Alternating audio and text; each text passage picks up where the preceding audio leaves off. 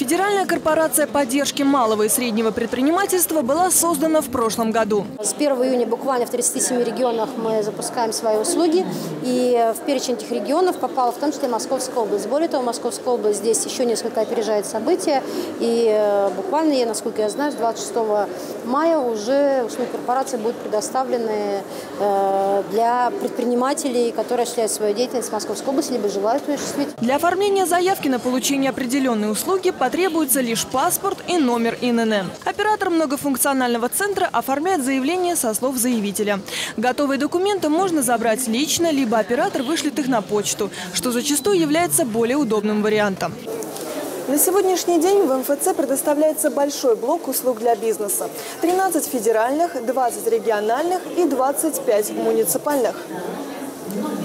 Предприниматели в формате круглого стола познакомили с формами и условиями финансовой поддержки субъектов малого и среднего бизнеса по заданным параметрам. Рассказали, в какие банки лучше обращаться и какие конкретные действия выполнять, чтобы при помощи корпорации на наиболее выгодных условиях получить кредитный продукт.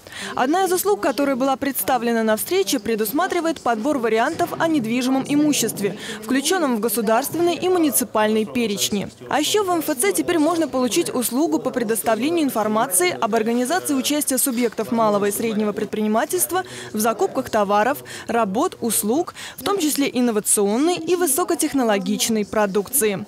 Екатерина Страсветская, Станислав Трифонов, телекомпания «Одинцова».